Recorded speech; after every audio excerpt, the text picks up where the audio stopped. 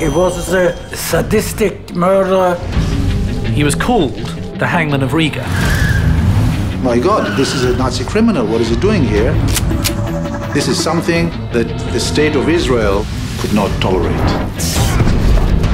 The plan is like the best spy novel.